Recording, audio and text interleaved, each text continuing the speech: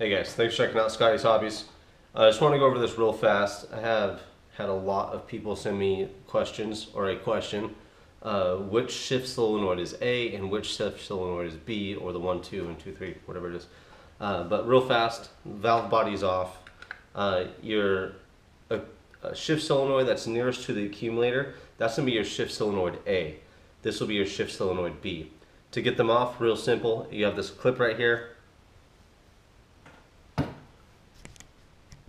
one clip right here.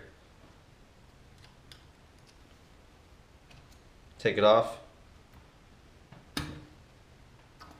Shifts when it comes out. You have a valve in here that you should take out and clean out every time you remove this too. I think there's two valves in here actually. Put it back on. Same thing with this one. Some of them, well, they are. This one is spring loaded, so something to take into consideration. Uh, you're going to inspect right here if you have a problem, see if this is all filled up with gunk. What is gunk, you might ask? Here's one of my old shift solenoids. You can see how dirty it is.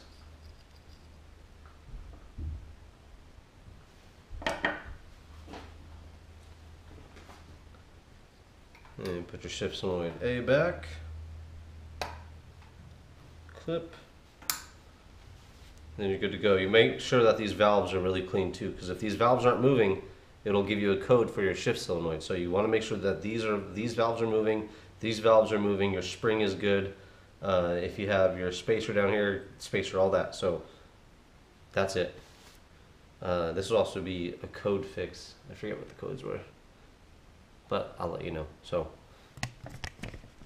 that answers the questions on the shift valves that I keep getting, sorry, shift solenoids I keep getting for this uh, 4L60E. So hopefully it helps out your A and B uh, solenoids and on your DIY project.